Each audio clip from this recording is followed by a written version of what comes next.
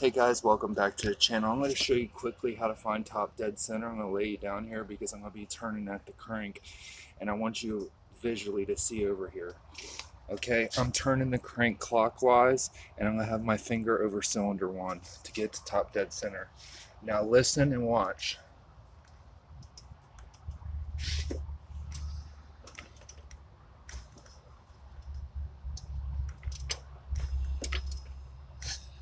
You hear that?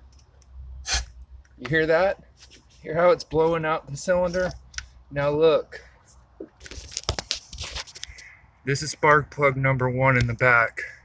It should line up to right here for top dead center. You want to get the rotor and drop it in top dead center to number one. So I'm going to leave it off and I'm going to go ahead. Hopefully you can see those valves there.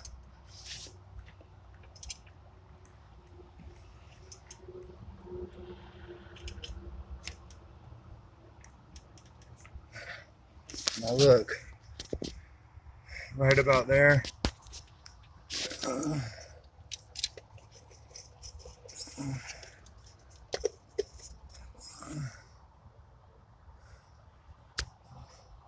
About right.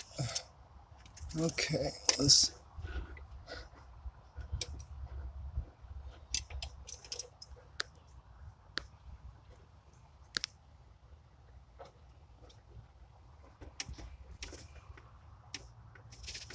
That's top dead center right there.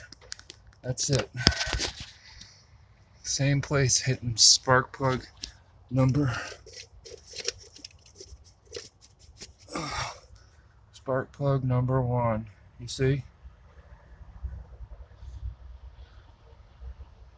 Right dead in the center of it. So I'm right there close and I wanted to show you. Now you see?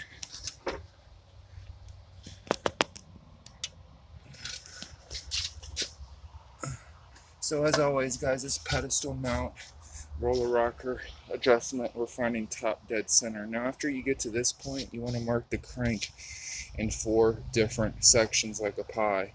Turn it in quarter turns, make adjustment cylinder by cylinder. You start off with number one and you go in the firing order. You can do half a turns or 25 foot-pounds. I like doing a half to a full turn, but usually I stay at a half.